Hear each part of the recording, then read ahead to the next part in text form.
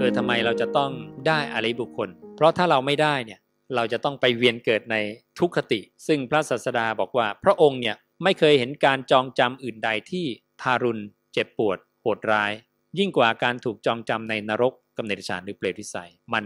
มันอันตรายมาก น้ำหนักขนาดไหน พระองค์เอาเอ่อก้อนกรวดอยู่ในกำมือมา 6-7 ก้อน หรืออีกสำนวนหนึ่งก็คือแผ่นหินประมาณฝ่ามือ แล้วก็ถามสาวกว่า ก้อนหินในมือของพระองค์เนี่ยกับภูเขาทั้งลูกเนี่ยอันไหนมากกว่ากัน สาวกบอกภูเขาทั้งลูกมากกว่า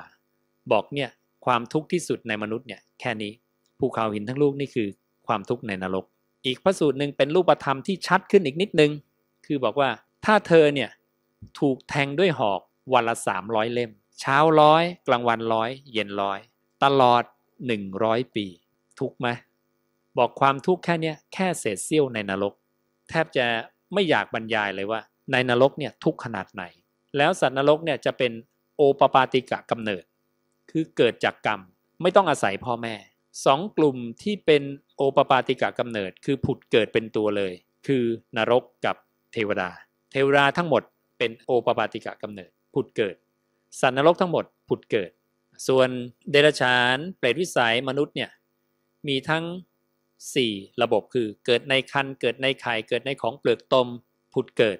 ระบบการเกิดจะมี 4 แบบที่พระเจ้าตรัสเอาไว้